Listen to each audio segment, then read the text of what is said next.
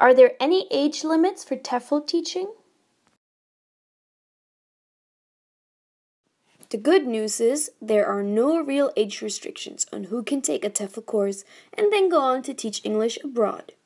At ITTT, we do require you to be at least 18 years old to enroll on our courses, but there are certainly no upper age limits. Over the years, we have successfully trained people of all ages, many of whom have gone on to have successful careers as English language teachers.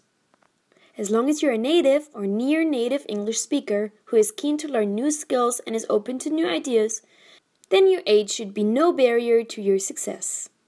Although a large number of new TEFL graduates are in their 20s, it doesn't mean they're always the most sought after by employers. Yes, there are many employers around the world who are only interested in recruiting younger teachers for various different reasons. However, there are plenty of situations where more mature teachers are equally popular. If you have any previous experience in teaching or training related employment, then you will have little problem landing a teaching job. In fact, simply having plenty of general life experience can often go in your favor.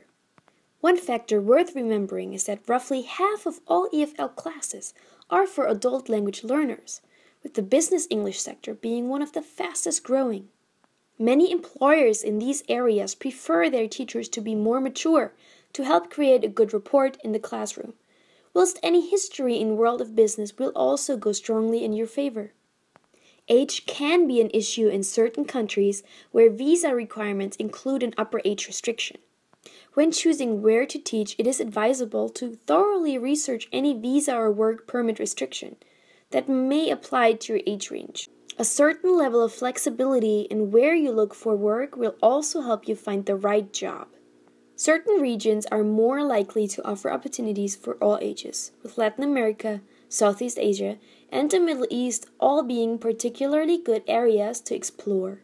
When looking to teach English abroad, it is worth noting that more than half the jobs available worldwide require candidates to conduct an interview in person.